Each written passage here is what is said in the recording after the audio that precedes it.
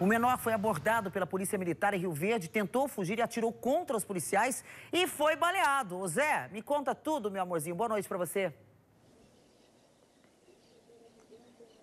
Conta sim, Silvia. Boa noite para você, para todo mundo que está acompanhando a gente. Policiais militares estavam em patrulhamento pela região central aqui de Rio Verde. Visualizaram um jovem numa motocicleta em atitude suspeita, certinho, camarada. Estava sem capacete, andando pelas ruas da cidade. Na tentativa de abordagem não deu muito certo, ele abandonou o veículo e fugiu a pé, pulando vários muros. Começou então um acompanhamento audacioso. O menor de 16 anos estava com uma pistola, atirou contra os policiais que que revidaram. Essa ocorrência terminou no telhado de uma casa com esse menor, velho conhecido da polícia, baleado. Ele foi socorrido por uma equipe do Corpo de Bombeiros e encaminhado para o hospital. Ele só fugiu dos policiais, Silvia, porque a moto que ele estava havia sido roubada minutos antes desta abordagem aqui na cidade de Rio Verde. A última informação é que esse menor, né, nas minhas idas à delegacia sempre topava com ele por lá, ele está bem.